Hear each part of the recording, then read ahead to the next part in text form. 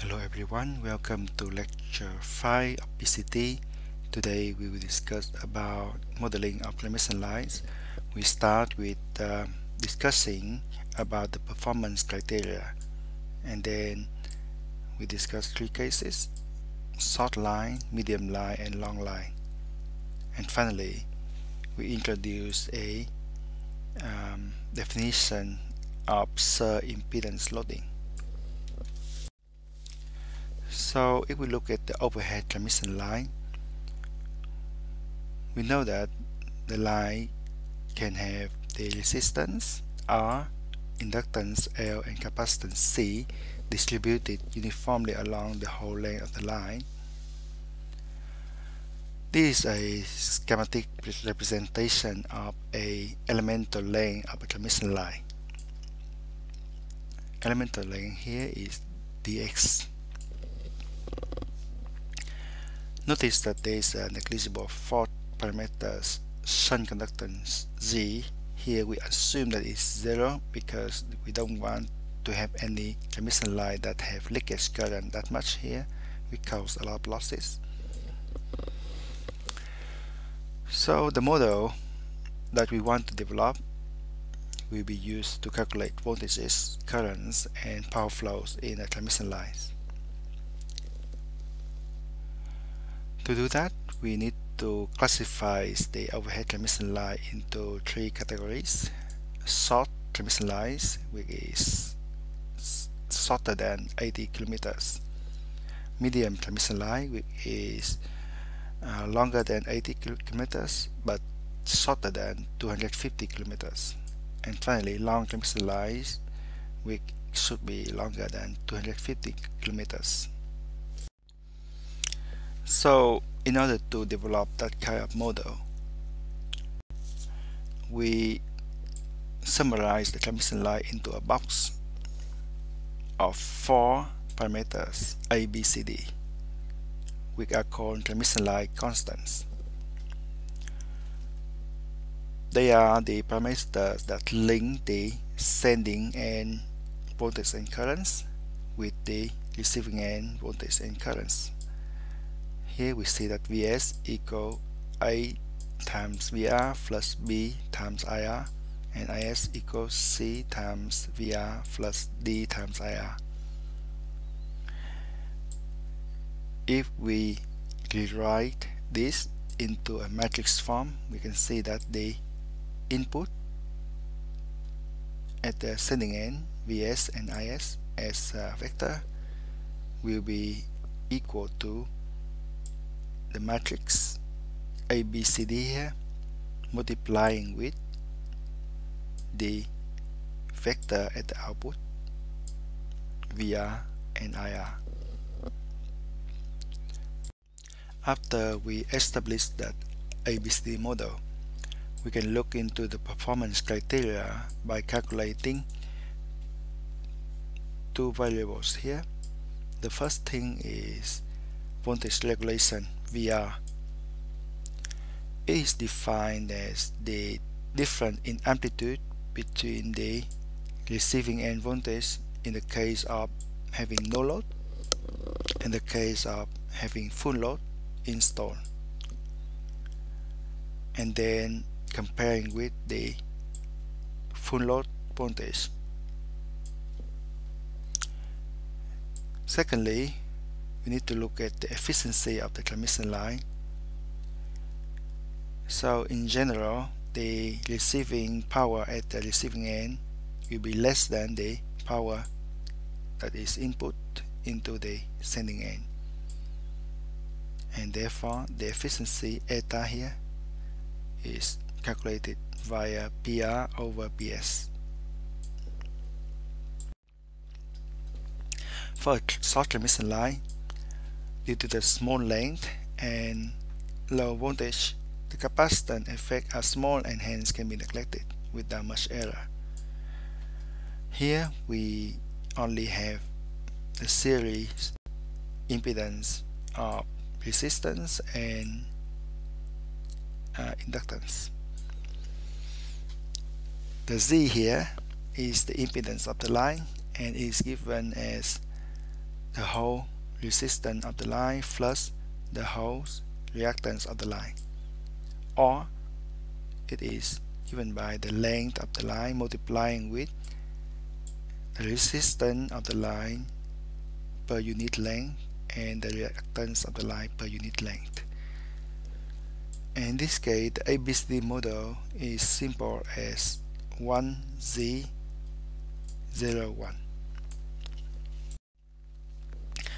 For the medium line, we cannot neglect the capacitance anymore. The capacitance here, however, is assumed to be lumped or concentrated in forms of capacitors. Um, and it is put in some points of the line depending on where we put the capacitors. We can have nominal pi model or nominal t model in this lecture we just focus on nominal pi model like this. So here we see that the impedance of the line stay the same as z equal r plus jx but we have two capacitors at the receiving end and sending end.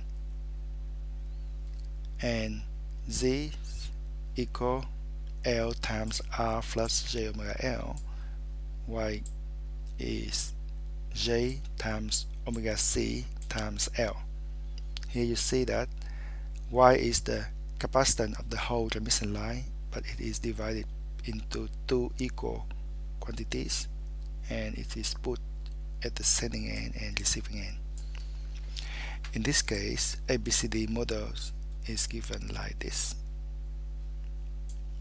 It is 1 plus zy over 2 z and y times 1 plus zy over 4 1 plus zy over 2 in case of long transmission line we cannot lump the capacitance into any equivalent capacitor anymore we need to consider the line with distributed parameters at z equal r plus j omega l and y equals j omega c as per unit length. So in this case after doing the calculation as shown in the textbook and the lecture notes, we can derive the ABCD model for the transmission line having a length of L as ABCD equal cosine hyperbolic gamma L ZC sine hyperbolic gamma L 1 over ZC sine hyperbolic gamma L and cosine gamma uh, cosine hyperbolic gamma L. Here ZC is the characteristic impedance of the transmission line and it is given by ZC equals square root of Z over Y. This has the unit of ohm because it is impedance. And then gamma is called propagation constant and is given by gamma equal square root of z times y.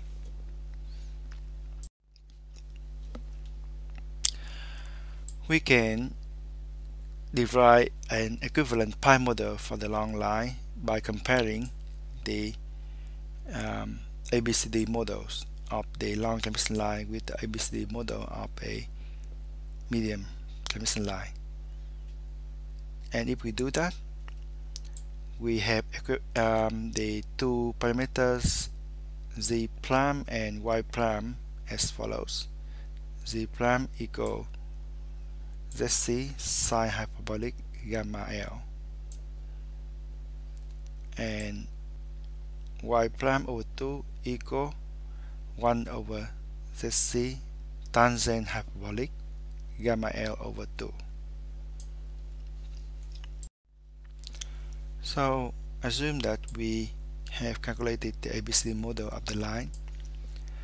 We can base on that and calculating the voltage regulation and efficiency. For example as um, no load IR will be zero because it's open circuit at the receiving end. And therefore VR at no load will equal Vs over A which is here when it is full load we have the relation between VR and IR depending on the load or VR equal uh, Z load times IR and based on that we can establish the relation between IS and VS based on VR and IR or we can calculate the VR as full load based on VS and after that we can plug everything back into this formula and calculate percentage VR the efficiency is given by PR over PS and is obtained by multiplying the voltage and the current together if we multiplying the voltage current conjugate then we need to take the real part. And then we compare the quantity at the receiving end and the sending end. Finally we consider um, impedance loading or SIL we can see that the transmission line which is terminated by an impedance Z load equals to ZC which is the characteristic impedance of the line. So in the case of a lossless transmission line, ZC here has only the um, real part. The load corresponding to the surge impedance at the rated voltage is called SIL or surge impedance loading is given by SIL equals 3 times VR times IR conjugate which is actually the power at the receiving end of the case of three phase. In this case, because ZC here is only resistive, so this one will equal 3 times VR square over ZC. Notice that this VR is the single phase uh, voltage or phase to neutral voltage. and in this case because this is single phase voltage it is actually the line to line voltage over square root of 3 and if we square it up multiplying by 3 we have the line to line voltage in this case it is kilovolt rated square over the characteristic impedance let's see and if we use uh, the uh, voltage as kilovolt then we have the SIL as uh, megawatt.